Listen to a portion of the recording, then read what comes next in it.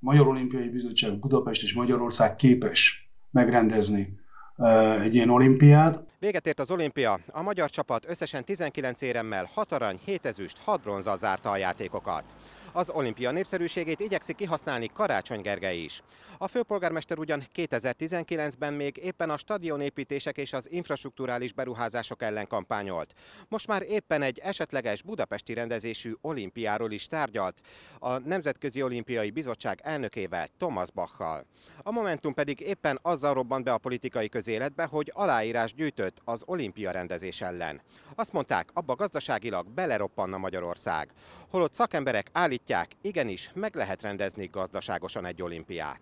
Ebben a városban nem épül stadion addig, amíg nincs minden kerületben CT. Stadionstopot hirdetett és a sportlétesítmények építése ellen kampányolt még 2019-ben Karácsony Gergely. A főpolgármester később még az atlétikai stadion felépülését is megakadályozta volna. Én magam részéről az én álláspontom az, hogy erre a stadionra nincsen szükség. Csak hogy nagyot fordult a világ Karácsony Gergelyel, ugyanis az olimpia idején már Thomas Bachal, a Nemzetközi Olimpiai Bizottság elnökével egyeztetett.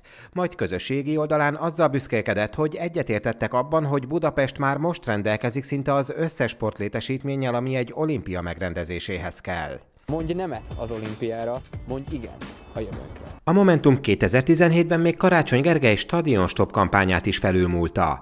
Fekete Győr Andrásék azért gyűjtöttek aláírásokat, hogy Budapest ne rendezzen olimpiát. A volt pártelnök most viszont már az olimpiai érmekkel tetszelek közösségi oldalán. Hálálkodik és büszkélkedik a magyar sikerekkel. Az eredményre egyébként a budapestiek is büszkék. Jó érzés ilyenkor magyarnak lenni? Igen, mindig. Mit gondol, Magyarország képes lehet megrendezni egy olimpiát? Képes lett volna, jobban, mint a franciák szerintem. Ez teljesen rendben volt egy ekkora országtól. Mit gondol, Magyarország is képes lenne megrendezni egy olimpiát? Hát most, ahogy így elnézem az infrastruktúrát, eh, az azt mondja, hogy igen, az ország gazdasági helyzete meg azt mondja, hogy nem. Büszke a eh, fiúkra, lányokra? Igen, nagyon is. Mit gondol, Magyarország meg tudna rendezni egy olimpiát? Hát, kis befektetése biztos. Kellene egyébként rendezni valamikor Magyarországnak olimpiát? Szerintem nem. Elmondja, hogy miért nem? Hát kicsi, túl kicsi szerintem az ország ahhoz, hogy... Görögország nem volt kicsi? Igaza van.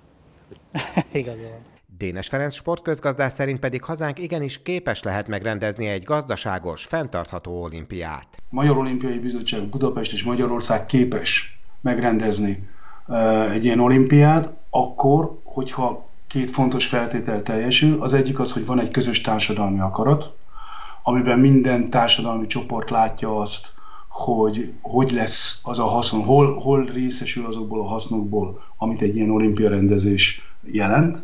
A másik fontos feltétel pedig az, hogy világos és egyértelmű koncepció legyen minden egyes elemére az olimpiának, akár csak egy sufnit felépítve, hogy az hogy fog a jövőben hasznosulni, hogyan fogjuk üzemeltetni, és hogy mi lesz a szerepe, hogyan, fognak, hogyan fogja ennek a társadalomnak az érdekeit szolgálni. Ha ezt a két feltételt e, tudja teljesíteni Magyarország, a kormányzat, a, a, a a politikai erők és a civil szervezetek, tehát mindannyian, akkor azt gondolom, hogy képesek vagyunk egy sikeres olimpiát megrendezni.